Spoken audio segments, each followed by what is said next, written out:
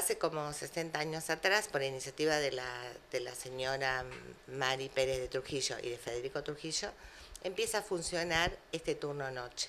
En realidad era el Instituto Privado Esteban Echeverría, con un plan de seis años para la gente que trabajaba o bien que había dejado sus estudios años anteriores.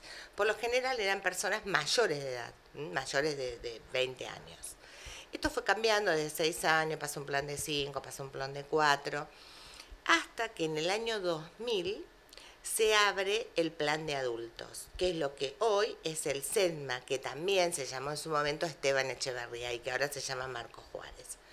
O sea que la gente que, cursó ese Esteban, el viejo Esteban Echeverría, que era adultos, ese plan, digamos ahora, fue reemplazado por el SEDMA. Lo que nosotros tenemos funcionando en el IPEN 277 turno noche, es el mismo plan que tiene el IPEN 277 en el diurno. Es un plan de seis años, con orientación en economía y administración, y que es para jóvenes entre 16 y 20 años, según lo indica la legislación, y para jóvenes que trabajan. Entonces, todo va cambiando. el, mandato fundacional que tuvo el viejo Esteban Echeverría, para lo cual fue fundado y fue creado, que fue muy importante en su momento, ahora para esta juventud que tenemos, tenemos una oferta educativa que ya no es tan seductora. Porque estos alumnos por lo general son repitentes que vienen de nuestra misma escuela y de otras escuelas. Entonces vuelven a hacer, ¿me entendés? Un plan de seis años con una carga horaria importante. Estos chicos entran a las 7 menos cuarto de la tarde tienen clase hasta las 12 de la noche. Y en realidad lo que estamos haciendo es repitiendo fracasos. Porque el chico ahora quiere lo que es inmediato, lo que ya, entonces tiene una oferta educativa que es el SENMA, que en tres años ellos pueden terminar su secundario, o sea, con, la mitad de años, con menos carga horaria. Entonces, se, a lo mejor se inscriben, vienen a este turno un mes, dos, y después abandonan.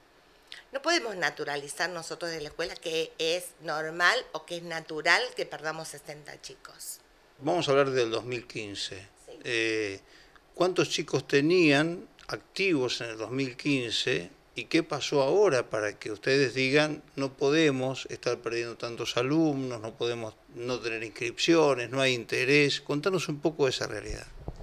Lo que pasa es que estamos, o sea, y ese creo que es otro error se está hablando de todo el turno noche, cuando en realidad, desde la dirección, lo que se está viendo es la posibilidad de que no se pueda abrir el primer año y el segundo. ¿Por qué el primero? Porque en noviembre, cuando tuvimos las prescripciones, como se hace en todas las escuelas para todos los primeros años, no hubo prescriptos para el turno noche. Entonces, ¿qué, ¿qué tenemos que hacer nosotros? Es una alerta, decir, bueno, a ver, si el año pasado tuvimos 14 inscriptos, primer año, 14 ¿eh? inscriptos en febrero y terminamos el año con 7, o sea, perdimos la mitad. Y de esos 7, solamente 3 tenían todas las materias aprobadas. Quiere decir que solamente tenemos 3 chicos que van a pasar de primero a segundo.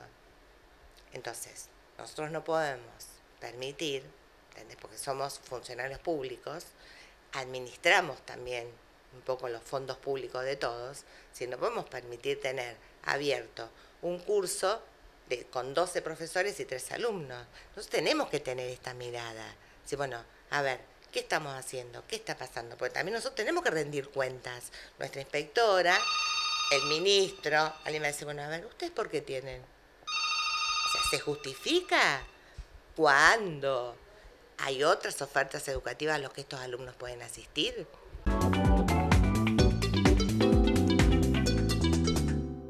Es como dijo Viviana, nosotros tenemos una inspección que eh, nosotros trimestralmente elevamos rendimientos académicos, tanto al Ministerio de la Provincia como de la Nación, que las inspecciones obviamente eh, verifican, controlan y corroboran. La inspección, como debe ser su trabajo, hace control del rendimiento que nosotros tenemos, tanto pedagógico como de la matrícula de nuestros alumnos. Entonces, donde empieza a observar que tenemos alumnos que, dejan de venir a la escuela, que la matrícula empieza a decrecer, que se llevan muchas materias, solicitan los informes correspondientes porque lo que interesa saber es qué hacemos nosotros como institución para que esta situación no se produzca. ¿Qué hacemos? Yo tengo que informar lo que tengo eh, en, datos verídicos, reales. Yo no puedo inventar que tengo, como dijo Viviana, empezaron 14 chicos, me quedaron 7, no voy a decir que sigo con los 14, porque nosotros tenemos inspecciones periódicas. Entonces, si un día viene la inspección a Marco Juárez y quiere ver los 14 chicos sentados dentro del aula y no los tengo, en realidad lo que estoy haciendo es mintiendo. Lo que estoy haciendo es ocultar una realidad que no corresponde. Entonces nosotros, basados en nuestros, en nuestros registros, en nuestros registros de asistencia, en nuestros diarios, en nuestros libros de tema, informamos tanto la asistencia de los alumnos como la de los docentes, como corresponde. Ese informe que nosotros elevamos fue porque ya en agosto nos habíamos quedado con esos pocos chicos en primer año. ¿Qué pasó cuando terminó el año? Lo que dijo Viviana recién, de los siete chicos con los que estábamos, clase casi, casi clases particulares, a ver, dentro de un aula, solo aprobaron tres todas las materias. ¿Yo qué puedo decir contra eso? Yo tengo que decir lo que ocurrió, tres chicos aprobados. Cuando hay tres chicos aprobados, son los únicos tres que tengo seguros para el año siguiente. Este año, las cierres y aperturas de las ediciones se hacen contra matrícula. Es decir, que yo tenía que tener tanta cantidad de inscriptos ahora en febrero para que los cursos se abran o se cierren. ¿Qué pasaba entonces? Que fue un poco el consejo que recibimos. Y anda advirtiendo, porque si vos no vas a tener alumnos, esos docentes tienen que saber cuál es la situación actual. ¿Qué hicimos? Una reunión, los reunimos a los docentes, les comentamos eh, qué era lo que pasaba, de hecho hay un acta eh, que ellos firmaron porque les dijimos, les leímos estos números, les indicamos del informe que nosotros íbamos a elevar y de cuál era nuestra postura. Por todo lo que acaba de explicar Viviana, nosotros qué solicitábamos. Si no íbamos a tener alumnos en segundo año, también queríamos preservar el derecho de estos chicos a la educación y no decirles en febrero, cuando vinieran o cuando terminaran las inscripciones, no, mira, no nos abren el curso, por lo tanto ustedes quedan en la calle. ¿Qué tuvimos que hacer? Hablar con las otras escuelas, hablar con lugares para que estos chicos, si los podían aceptar, que es lo que dijo Viviana, cuando reunimos a los papás, les explicamos la situación, los papás estaban de, alguna manera agradecidos que esa fuese la, la, solución para sus hijos, porque no les gusta tenerlo en la calle, que es lo que yo siempre les planteo a los docentes o a nosotros mismos. Es, decir, es duro tener un hijo de 14, 15 años en la calle a las 12 de la noche que eso también tiene que ver con el cambio que ha ido y con el nuevo paradigma que nosotros hoy tenemos respecto de los jóvenes adolescentes que tenemos en, en, nuestro país, en nuestra ciudad, en nuestro pueblo. Antes un chico a las 12 de la noche estaba tranquilo en la calle. No hablemos de muchos años atrás. A partir que, a medida que los años las cosas van cambiando, hoy no es tan simple tenerlo.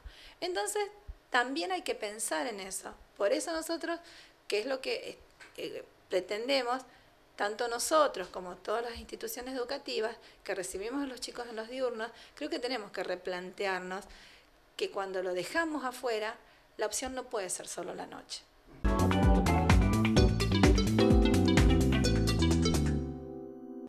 Es por los docentes, porque sin dudas se pierden horas cátedra, hay algunos que en realidad este, creo que han hecho planteos inclusive ante políticos sobre esta situación.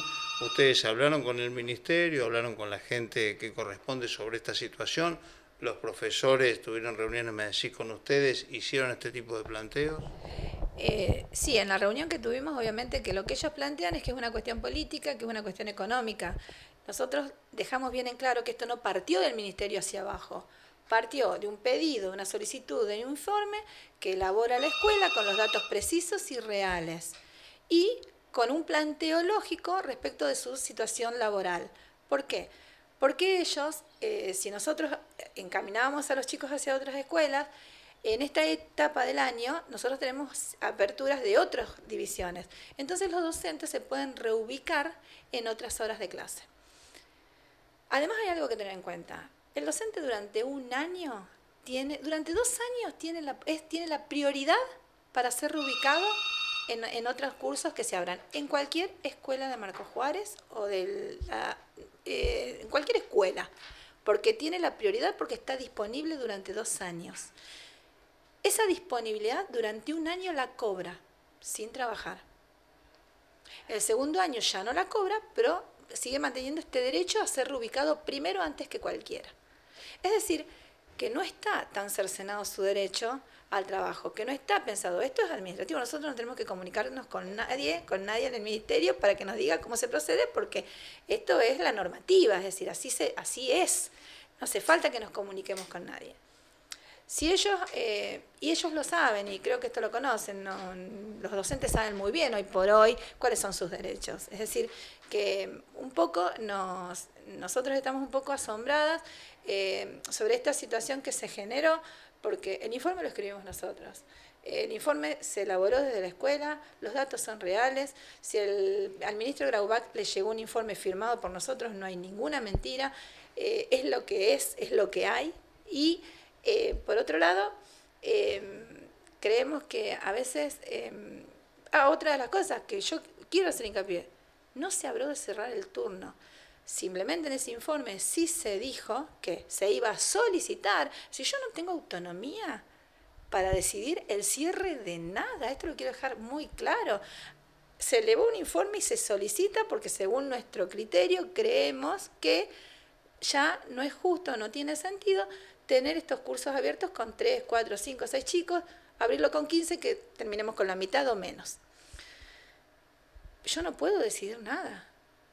Yo de hecho no tengo ninguna comunicación del Ministerio de nada, por lo tanto, se abrieron las inscripciones ahora en febrero las inscripciones al turno de la noche siguen normalmente.